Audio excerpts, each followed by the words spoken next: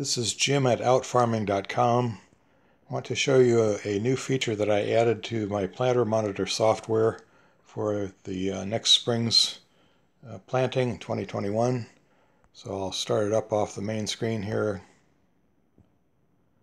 And this is the same um, demo that is showing what's happening behind the uh, tractor and planter with uh, this area showing the skips and doubles. But I want to go over to the gearbox and turn on another feature.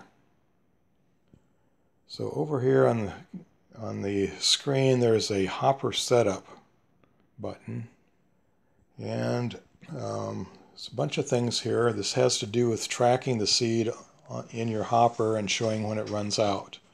So first of all I'm going to go over here and make it active and um, I have it set up for seeds per bag of 80,000 which would be for corn. Um, the seeds in the hopper uh, let's zero that out.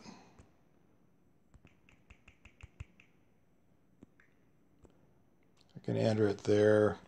The seed count when full. So how many how big a hopper do you have? How many seeds can you get in, in it when it's full?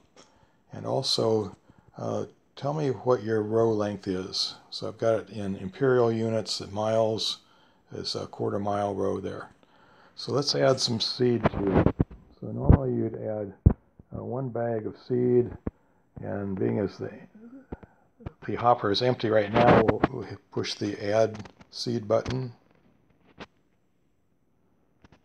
and we'll exit.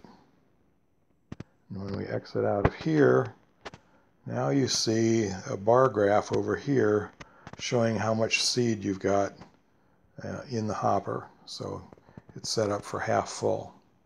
From this screen you could go back to the gearbox and make the changes or you can come over and press the bar graph on the left side. I'll do that. That takes you back to this screen and let's look at a couple more features. So let's empty the hopper and now instead of adding a full bag, let's add uh, one-sixth of a bag. And I'll come up here and press the add seed button. And I'll exit back to the main screen. Alright, now the bar graph you see is not only shows less, but it's in yellow because it's starting to get low. So it's changed from green to, to yellow. And it tells here, oops, tells how many rows you rounds you can go before you run out of seed. So by telling it that your rows are a quarter mile long and doing a bunch of math, I can tell when you're going to run out of seed. So we'll go back and press that side again and uh, we can empty the hopper and let's say that uh, you want to add a full bag of seed to each hopper.